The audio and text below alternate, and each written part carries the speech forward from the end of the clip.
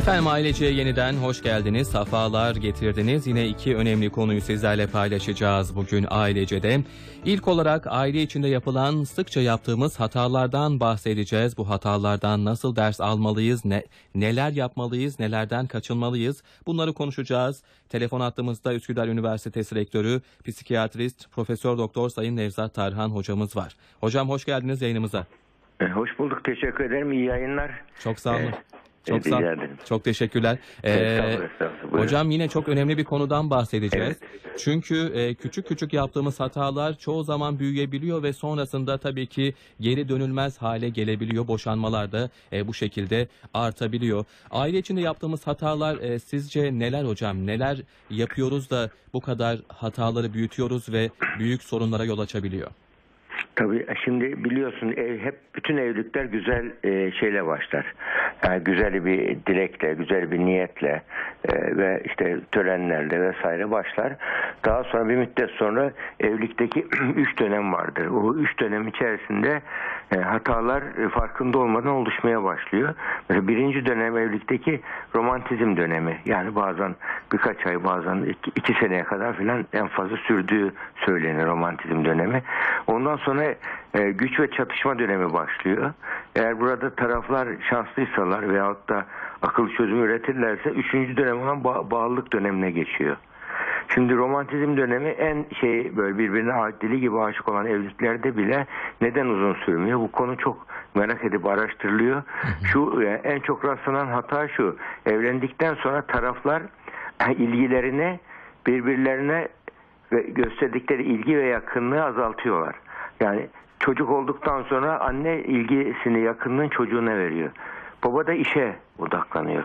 Odaklanınca birbirlerine olan yani yakınlaşma azaldığı için ufak bir sorun büyümeye başlıyor. Ufak bir hataya aşırı orantısız tepkiler vermeye başlıyor. Bunun üzerine acaba eşim beni seviyor mu? Yoksa hayatına baş- başkası mı var? gibi böyle kafada sorular uyanmaya başlıyor. Yani çünkü beynimizin özelliği olumlu olumsuz düşünceleri, soruları üretir.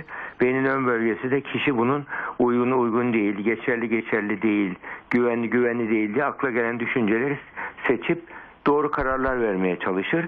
Böyle durumlarda e, çeşitli ve psikolojik e, ta- doyumsuzluklar oluştuğu zaman o sorulara sağlıklı cevap veremiyor insan. Mesela kendini çocuğuna vermiş, eşine gel, eve geldiği zaman hiç şey yapmıyor.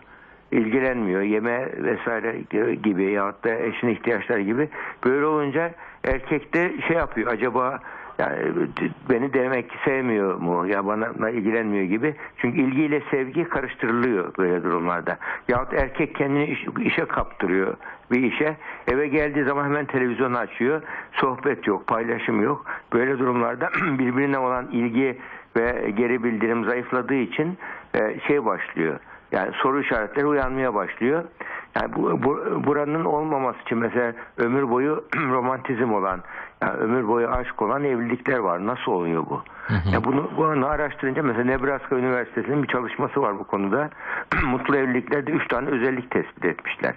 Birincisi, birinci özellik ve ortak özellikleri hepsinde e, birlikte zaman geçirmenin fazla olduğu ortaya çıkmış. Yani birlikte zaman geçirme biraz önce söyledim hani anne işin yoğunluğunu çocuğa veriyor. Şimdi ba- baba işe veriyor ve burada birbirine zaman geçirme azalıyor. Yani sadece bu birbirine zaman geçirmenin yüksek olduğu evlilikler. Diyelim o e, evlilikte çocuğa kendini verirken eşi geldiği zaman yani e, eşi de şu anda yani onun e, evin ailenin iyiliği için eşime de zaman ayırmam lazım demesi lazım. Mesela onun için akıllı erkeklerde yani akıllı erkek çocuğunu mutlu etmek istiyorsa anneyi mutlu eder. Yani bunun için de e, çocuğa işe zaman ayırdığı kadar anneye ayırır. Biz bunu bazı testlerde şöyle ölçüyoruz.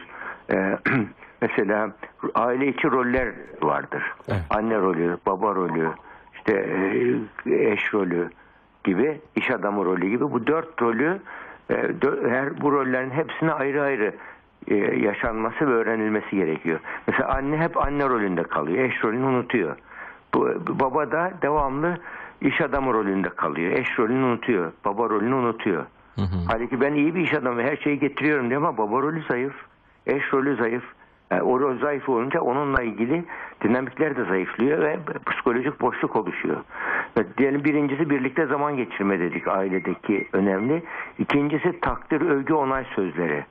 Yani aile içi iletişim bunun için çok önemli. Aile içi iletişimde biz e, maalesef belli bir seneden sonra birbirimizin kusur üzerinde iletişim kuruyoruz. E, iki tarafta birbirini düzeltmek zorundaymış gibi. Evet. Yani hep eleştiri üzerinde, kusur üzerinde bu negatif iletişim. Halbuki pozitif iletişim olursa mesela yemeğe e, iyi olmadığı zaman değil ya çok sıcak ne güzel yemek yapıyordun sen her zaman yemeklerin güzel oluyordu ama bugünkü niye böyle oldu demek var. Biz ne biçim yemek yaptın böyle demek var. Aynı şeyi söyleyiş tarzı değişiyor. Eve geldi mesela diyelim akşam erkek eve her taraf darmadağınık. Ne biçim kadınsın bu evin hali nedir deyince kadın da oradan çıkacak. Ben bütün gün üç çocuk canım çıktı biraz da sen ilgilen diyecek. Gidecek o akşam krizi olacak. Halbuki şöyle dese ya ki ev dağınık olduğu zaman kendimi çok kötü hissediyorum dese. Mesela erkek. Bu ben dili kullanmış olacak. Sen dili değil. Sen dili savunma dilidir. Yani e, savun karşı tarafta savunma duygusu uyandırır. Halbuki ben dili kendi hislerini anlatmaktır. Böyle durumlarda eşte savunma duygusu kendine ya da saldırma ihtiyacı çı- çıkmayacak. Kendini pişmanlık hissedecek. Ya eşimi yorgun yorgun geldi üzdüm de yaparak diyecek ve hatayı düzeltme imkanı oluşturacak. Ya bunun gibi basit yöntemler var. Böyle takdir övgü onay sözleri dedik. Üçüncüsü de Nebraska Üniversitesi'nin çalışmasında tespit edilen birlikte kiliseye giden aileler olmuş. Hmm. Yani yaşam felsefeleri hep aynı. Yani olaylar aynı gözle bakıyorlar. Olaylar karşısında kültürel altyapıları benzer olanlar. Mesela bir ölüm olayı oluyor, bir kaza olayı oluyor. Materyalist bakan bir aile varsa müthiş sinirleniyor, şey oluyor, her şeyi kaybetmiş gibi tepki gösteriyor. Ama manevi dinamikleri olan, manevi birikimleri olan bir şey varsa böyle durumlarda daha kabullenici olabiliyor. Daha e, krizi daha iyi yönetebiliyor. Mesela onun için e, manevi e, ihtiyaçlarını iyi karşılayabilen insanlar e, kriz yönetimini daha iyi yaparlar. Özellikle ölümle, ölüm bilinci konusunda daha başarılıdırlar. Kolay ümitsizliğe düşmezler. Daha tahammül, dayanık güçleri, sabır güçleri daha yüksek olur. E, bunlar da hayatta önemli becerilerdir. İşte bunlar e, aile değerleri var. Aile değerlerini maddi birikimler aile değerleridir. Kişinin çeşitli e, varlık durumu. Bir de manevi birikimler var. Bunlar da manevi sermayedir. Manevi sermaye de yani şey olarak mesela bencil olmamaktır. Evet. Yani evliliğin en büyük düşmanı bencillik ve ego savaşları. Benim dediğin senin dediğin, benim annem senin annen, benim param senin paran.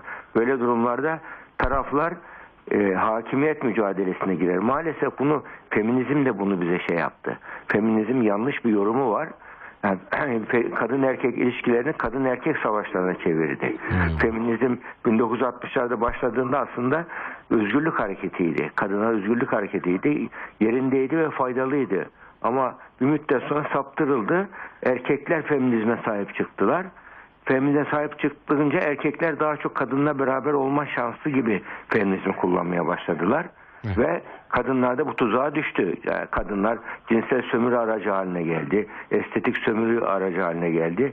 Erkekler bize ilgi gösteriyor dediler. Hatta Hollywood'da bir röportajda okudum. Bir kadının kabusu nedir diye soruyorlar orada sanatçıya kadın sanatçıya diyor ki 40 yaşına gelmektir. Niye diyorlar?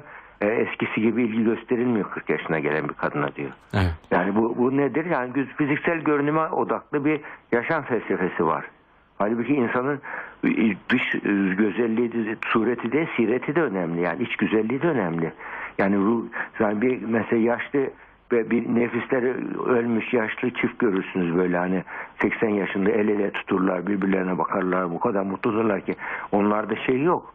Yani mesela cinsellik vesaire yok ama e, öyle bir romantizm oluşmuş ki yani hayat sadece erotik zevklerden oluşmuyor ki. Yani romantiz fiziksel görünümden oluşmuyor ki. Yani yüzde sekseni kadın erkek ilişkilerin yüzde sekseni e, şeydir e, fiziksel görünümle ilgili değildir. E, duygu, düşünce, davranış alışverişiyledir. Evet. Yani bunlarla oluşur. Yani onun yüzde yirmi cinselliktir. Cinselliğe indirgiyor feminizm şu anda kadın erkek ilişkilerini. Bu da olmadığı zaman evliliği kolaylıkla bitirebiliyorlar. Yani bu, bu, bu gibi. Yani bu nedenle kadın erkek ilişkilerini e, ego savaşlarına dönüştürmemek çok önemli. Ego savaşlarında ya, ailenin iyiliği için ne yapmam gerekir sorusu sormuyor şeyler insanlar. Şu anda eşimin üzerine hakimiyet sağlamak için ne yapmalıyım diye soruyor. Evet.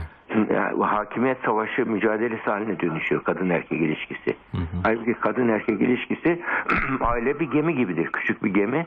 O geminin geleceği için e, en doğru hareket nedir? En doğru tepkim ne olur? En doğru karar ne olur? Bunu düşünmesi gerekir. Çünkü aile sıcak bir ortam oluşturmazsa sağlıklı çocuk yetişmez.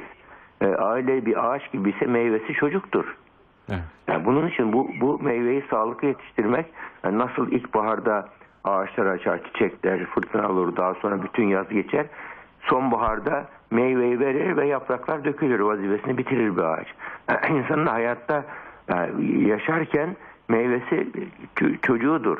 Yahut da birey ailece ürettikleri başka konulardır eğer çocuk yoksa da. Yani böyle durumlarda buna odaklan, ailenin ak- akıbetine, sonucuna e, odaklanarak düşünmeli ama erkek benim dediğim ben be- ben ben ben diyorsa kadın ben ben ben diyorsa böyle durumlarda e, dürümüyor. Yani ben zaten şu an evliliğin bu çağda günümüze yaygınlaşmasının sebebi egoizmin saltanatının dönemi, narsizm. Bu çağın hastalığı narsizm. Çağın vebası. Yani onun için ya bunu işte biz ben, ben söylemiyorum ha. Şu anda Amerika'daki şeyler söylüyor. Yani psikologlar Amerikan Psiko- Psikoloji Birliği söylüyor.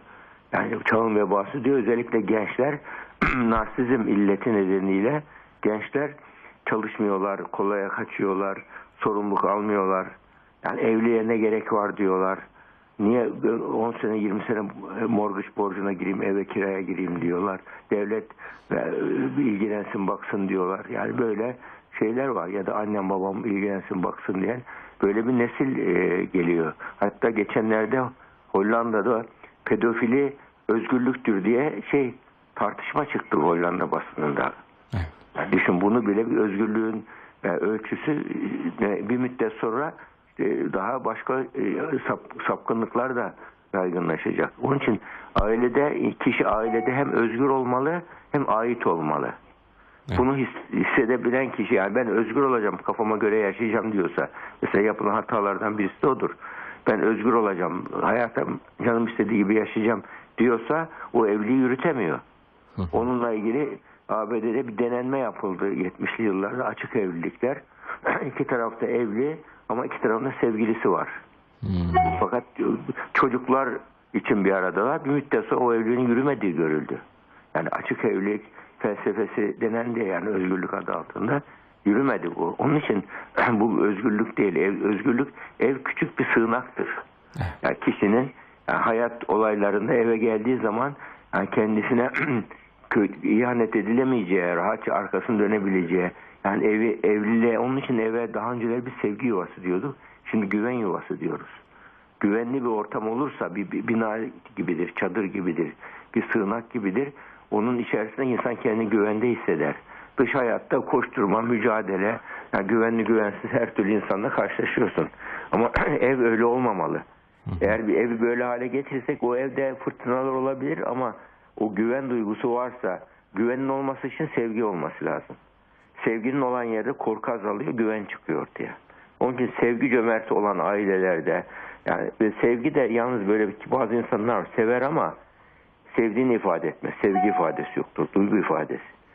Ben duygu ifadesi olmayan birkaç tane e, örnek e, verebilirim.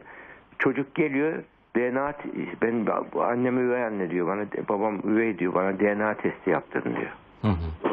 Çocuk aslında o anneden sevgi, sev- sevgisiz büyütülmemiş fakat duygu ifadesi yok. Çocuğu bir defa kucağına almamış baba mesela. Evet. Çocuğunu uykuda sev diye bizim şeyimiz var. Yani yanlış bir geleneğimiz var. Doğru. Yani uykuda sevmek yani çocuk hele bu zamanda böyle sahte sevgilerin olduğu bir dönemde çocuğuna şımartmadan sevmeyi başarabilmemiz lazım. Çocukla e, e, yani Hazreti Ali'nin sözüdür bak. 5 yaşına kadar çocuğunuzla oynayın. 15 yaşına kadar arkadaş olun. 15 yaşından sonra istişare edin diyor. Yani arkadaş olmak demek yatay ilişki kurun demek. Yani şımartın e, demek değil yatay ilişki yani. Yani bir insan arkadaşla nasıl bir dostluk kurar? Çocuğunuza öyle dostluk kurun. Buna psikolojide handle etmek deniyor. Yani çocuğu böyle kırıp dökmeden yani çocukla e, itişmeye, mücadele etmek değil, çocukla birlikte yürümek deniyor. Karşımıza almak yerine çocuğu yanımıza almak deniyor. Yani bu gibi ilişkiler ailede bunu annelik babalık pratiğinde bunu bilmediğimiz zaman yani yanlış çocuk yetiştiriyoruz ve karı koca geçimsizliği mesela çok en çok rastladığımız yani çocuk psikiyatrisine problem geldiği zaman bakıyoruz anne baba geçimsiz evde hep devamlı ses tonu yükselmiş. Hep böyle birbirlerine ufak bir güzel bir konuşma olmuyor hemen tartışmaya dönüşüyorlar. Yani bunun için şeyde bak gelişmiş ülkelerde family refreshment programları yapıyorlar. Yani e, kişi daha baktık ufak tefek sorunlar yaşıyor. Bir hafta sonu bir otele geçiyor aile çocuklarla birlikte. Orada e, aileyi tazeleme, yenilendirme davranışları programlar yapılıyor. Sorunlar getiriliyor, konuşuluyor. Hafta, hafta sonu sadece iki günlük böyle bir programlarla birçok problem büyümeden çözülüyor daha yani e, iş böyle boşama noktasına gelmeden. Evet. Yani bu- bunların yani Türkiye'de de maalesef modernizm hastalıkları Türkiye'de yaygınlaştı. Biz de e, böyle şeyleri e, bir düşünmemiz lazım artık. Yani yoksa boşanma hızı çok arttı. Türkiye'de de ailede yani aileyi toplumda ayakta tutan e, yapı taşları aile. Aile yapı taşı olmadığı zaman toplumdaki dinamikler bozuluyor. Yani bu nedenle en küçük e, birim e, toplum sosyolojik yapı e, aile. Ve bu nedenle mesela TRT'de ne güzel ailece diye program yapılıyor. Bunun yaygınlaşmasında fayda var diye düşünüyorum ben. Evet hocam. Evet. Ee, hocam e, vaktimizin sonuna geldik. Tek solukta bugün bitirdik. Ama Evet. bant telimize dokunduğumuz için bu konuyu daha fazla işlememiz gerektiğini ben açıkçası Evet. düşünüyorum. Çünkü eleştirilebilirlik, eleştiri kültürü, Evet. tartışma kültürü bunlardan e, bahsedemedik. Bir başka programda devam edelim Evet. istiyorum ben. Tabii tabii inşallah. inşallah. Hocam çok sağ olun. Evet, Tekrar memnun- ağzınıza sağlık. İyi yayınlar. Estağfurullah. teşekkürler hocam. Kolay gelsin, iyi günler. Estağfurullah. Hoşça kal. Üsküdar Üniversitesi Rektörü, psikiyatrist, Profesör Doktor Sayın Nevzat Tarhan bizimle birlikteydi.